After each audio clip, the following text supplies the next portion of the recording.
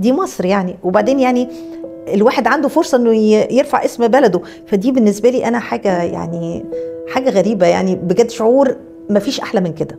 في رش ادرينالين أدرينالين كده جت اللي هو أنا كنت مبسوطة. اللي هو ده اللي أنا كنت خايفة منه؟ لا ده تحفة. فأنا كنت مبسوطة بيه قوي.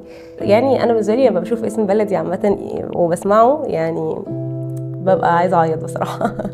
أنا بقيت يعني عندي ثقة في نفسي أكتر كتير إن أنا يعني هقدر أعمل حاجة طالما أنا حطاها في دماغي وعايزة أعملها. أنا طول عمري يعني دايما الحمد لله شايف إن ربنا ليه إرادة في كل حاجة بس دايما كنت عارف إن على قد ما تتعب على قد ما هتلاقي.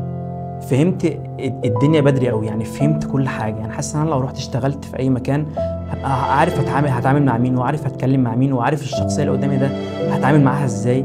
وإحنا شغالين بنبقى شغالين مع الشباب الجميل ده. شغالين وبنشوف فيهم الأمل. وبنشوف نفسنا إحنا كصندوق رعاية مبتكرين إن إحنا شغالين في صناعة الأمل. اللي سمى النجاح رحلة كان عنده حق. رحلة يعني ناس ومحطات مشاكل وتحديات عزيمة وإرادة وعمل خوف وقلق أمال وطموحات وشوية حاجات. وكل ده بيهون لما توصل لآخر الرحلة وتحس بالنجاح.